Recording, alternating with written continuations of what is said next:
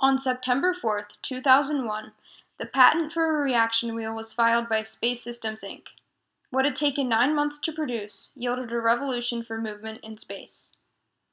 The reaction wheel assembly was described as having a reference axis, a wheel assembly including four wheels, each of the wheels being mounted for rotation on a spin axis. Said spin axes were arranged in a configuration where at least three of the said spin axes were oblique to the said reference axis. All will be explained and more in the continuation of this video. A reaction wheel is a wheel that spins at very rapid speeds and produces torque by rotating the attached vessel on an axis of rotation. This occurs because every action has an equal and opposite reaction according to Newton's third law. One wheel is required for each axis of rotation, pitch, roll, and yaw. The control system is usually made of four flywheels. Three of them are the main wheels that control the rotation on each axis, while the other one is used as a backup. These are all controlled by the vessel's flight computer. This is not a method of propulsion. This device creates torque, not thrust. Torque is created from the flywheel spinning very fast, which changes the angular momentum of the vessel. Newton's third law states that for every action there is an equal and opposite reaction. Reaction wheels work on this principle of physics. For example, if the rotating or if the wheel rotates uh, counterclockwise, then the vessel will rotate on that axis clockwise. Using reaction wheels over a series of reaction control system thrusters greatly reduces weight, as no propellant or thrusters are needed.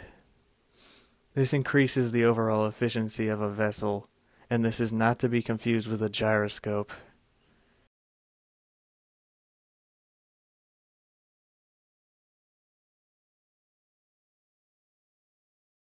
In order for any motion to occur, the commands to change the speed of the flywheel are made from the spacecraft's onboard computer.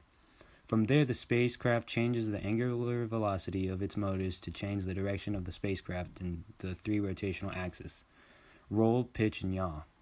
The power comes from the spaceship's own battery supply and can be recharged. This makes powering the motors easy because they can be recharged through any method of electricity generation. For example, solar power, fuel cells, RTGs, etc. Reaction wheels are best when used when the spacecraft is going to be making any small changes to its angular pos position in space. For example, when a telescope needs to follow a star. Another example that this system would be appropriate for are small crafts, where extra weight isn't an option. Reaction wheels are the best choice for attitude control for spacecraft. It is also possible to control the attitude of spacecraft using ion thrusters. These can be chemical or cold gas thrusters, which just use compressed gas. The thing about thrusters is that they always apply forces, not just torques. The torque turns the spacecraft, but at the same time the force accelerates the spacecraft, which messes up the orbit. But sometimes thrusters are used for attitude control. In that case, offset pairs of thrusters pointed in opposite directions are used. When one fires the thrusters at the same time, they both contribute to the torque, but the force part and should, in theory, cancel. But because one can never get the two forces to be exactly equal, there is always a small residual change in velocity of the spacecraft, which pulls the spacecraft off of its orbit. In many cases, this is acceptable, but sometimes it's not. Ion thrusters also tend to be complicated and expensive, so reaction wheels are a much better alternative. As one can see, reaction wheels are necessary for small movements in space. Reaction wheels help to position satellites with small adjustments. For example, reaction wheels are used in the Hubble spacecraft and the Keplerian satellite to take pictures of far off galaxies. Earth like planets such as Kepler 22b and Kepler 186f were discovered by the Keplerian satellite, and without reactions, none of this would be possible. To further demonstrate applications of reaction wheels, I will show you how they can be used on a space plane in multiple stages of its flight. This space plane has three reaction wheel units one of which is built into the cockpit and two of which are held in a cargo bay with a battery supply.